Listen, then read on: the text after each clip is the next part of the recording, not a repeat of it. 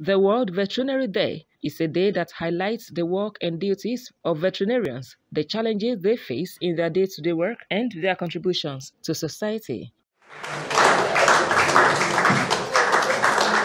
Welcoming members and dignitaries to the event, Acting Chairman, Ondo State Chapter of Nigerian Veterinary Medical Association, Dr. Francis Ogunji highlighted the theme for this year's event, Strengthening Veterinary Resilience as apt considering contemporary challenges.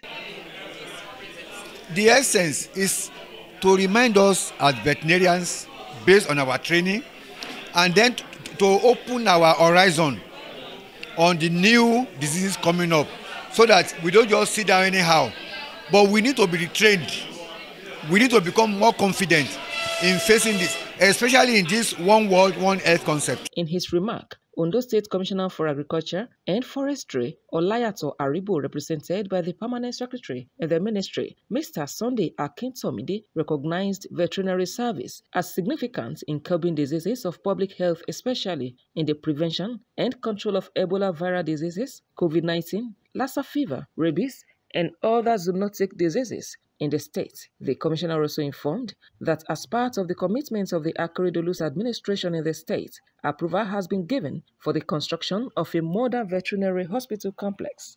Your profession is happily represented in the State Emergency Preparedness and Response Committee, the State Interministerial Committee for the Control of uh, COVID-19, and the State Emergency Operations Center. I wish to say that I am proud to identify with the Ondo State chapter of the Nigerian Delivering his lecture entitled Strengthening Veterinary Resilience, a lecturer at the Federal University of Technology, Akure, Professor Tunde Awoniyi highlighted key elements that contribute to strengthening veterinary profession. Developing personal insight and maintaining positive positivity. Positivity means I can do it. And I will do it. I have been doing it. Then the other one is saying maintaining supportive network.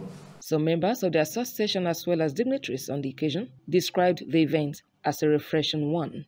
Our people must keep on researching. They must keep on researching. There is no short, no shortcut. So if you if they keep on researching, they will find a way around it. Both the vets and the medics, they should join hands together. That is the time they can have a solution to all these things. Veterinary is very important now that we have problem of meat. Chicken, goat, pigs are what we have to develop. We have learned a lot, especially self-care as a vet. You need to take care of yourself, and when you take care of yourself, you can take care of your patients. Attendees also said they left the event with high expectations of improved in their profession. Omorinola Hungbeji, West News.